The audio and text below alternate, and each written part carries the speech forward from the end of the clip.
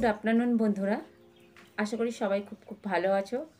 আজ আটই মে, আমরা প্রত্যেকেই জানি মাতৃ দিবস। খুব স্পেশাল একটা দিন। আর এখন বাজে তিনটে, আর এই তিনটে থেকেই আজকের ব্লগ নয় জাস্ট আজকের দিন নিয়ে দু চার কথা তোমাদের সাথে শেয়ার করা। মা শব্দটা আমাদের জীবনের প্রথম শব্দ হয়ে ওঠে জন্মানোর পর। মা, পৃথিবীর শ্রেষ্ঠ শব্দ। মায়ের গুরুত্ব কতটা, সেটা কম বেশি আমরা প্রত্যেকেই জানি। আর যারা মায়ের থেকে দূরে আছি, তারা তো একটু মনে হয়, আমার মনে হয়, একটু বেশিই জানি। আমরা গর্বিত মেয়েরা যে সৃষ্টিকর্তা আমাদেরকে এই মা হওয়ার সুযোগটা করে দিয়েছেন। এটা পুরুষ মানুষকে দেননি, উনি আমাদের নারী জাতিকে দিয়েছেন। মা এমন একটা শব্দ, এমন একটা অনুভূতি যে যেটা মা না হলে হয়তো আমরা বুঝতে পারব না।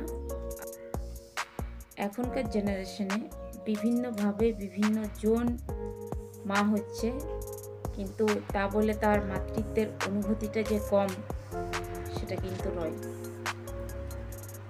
অনেক ব্যথা সহ্য করে অনেক কষ্ট সহ্য করে আমরা এই মাতৃত্বের স্বাদটা খুঁজে পাই।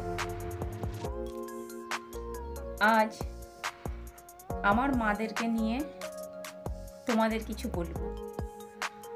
মাদেরকে এই জন্যেই বললাম,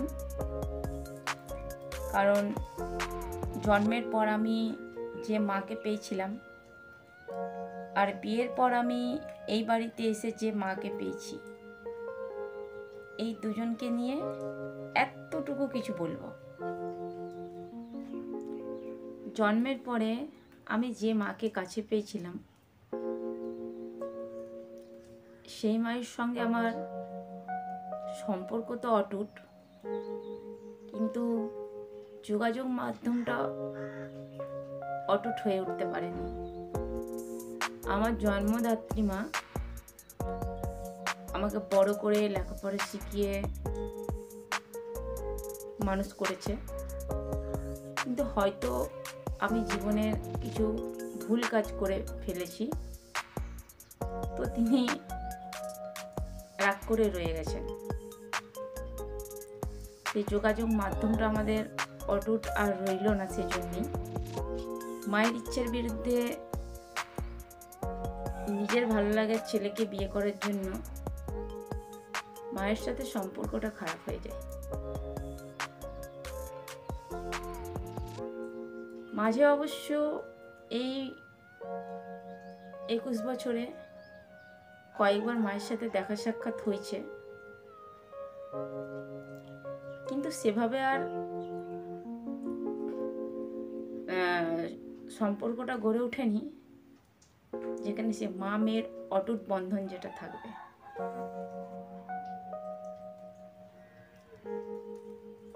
আমি সময়ে অসময়ে মাকে মনে করি। কিন্তু জানি না, মা আমায় মনে করে কিনা এ বাড়িতে যখন এলাম, তখন ছেলের ভালোবাসার কাছে হার মেনে এই মা আমায় পুত্রবধূ হোক, মেয়ে হোক যে সম্পর্কই হোক না কেন, স্বীকার করে। সময়ে অসময়ে এই মাও আমার পাশে থেকেছেন। যখন প্রেগনেন্ট হয়েছিলাম, নিজে যখন মাতৃত্ব স্বাদটা অনুভব করলাম, খুব কষ্টের মধ্যে দিনগুলো গেছিল। কিন্তু আমি মা হচ্ছি